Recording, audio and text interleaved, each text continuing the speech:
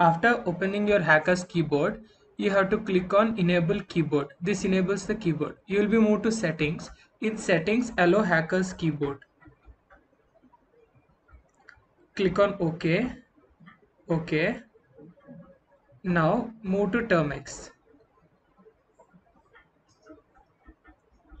Click on your spacebar. You have to hold it. Then there will be option. Then select hacker's keyboard you have to hold your spacebar for a few minutes few seconds. Now if you i'll show you another thing. If you want to you know open a new session just from the left side of your screen drag right like this. From left side edge of your screen to the right. You will see a two options called keyboard and new session keyboard option toggles your keyboard. That is uh, when you click on keyboard it either opens it or closes it. If it if your keyboard is already opened it closes it. If it is closed it opens it. See now my keyboard is closed. Now if I click on it again it opens. So that is what the keyboard option is used for. Now there is another option called a session. To uh, you know demonstrate session properly here I will type my name Monish now this is what you are currently using is session 1 the first session we call.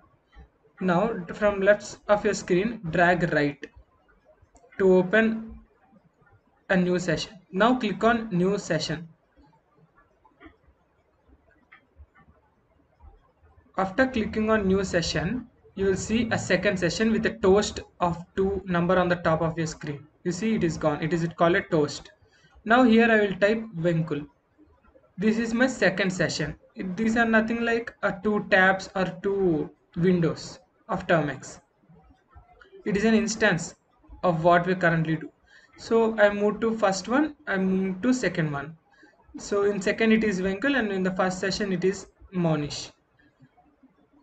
Now if I delete anything, if I delete my session 1, the session 2 becomes session 1 that is the session 1 will be popped out and session 2 moves to the session 1 area.